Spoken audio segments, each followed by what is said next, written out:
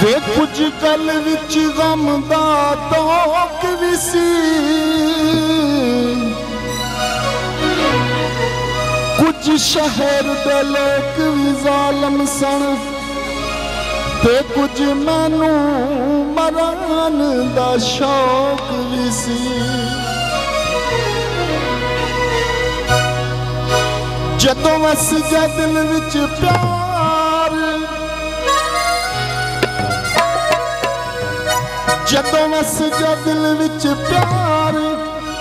ਕਿਸੇ ਨਾਲ ਹੋ ਗਣ ਕੋਲ ਕਰਾਰ ਚਿਮਟਾ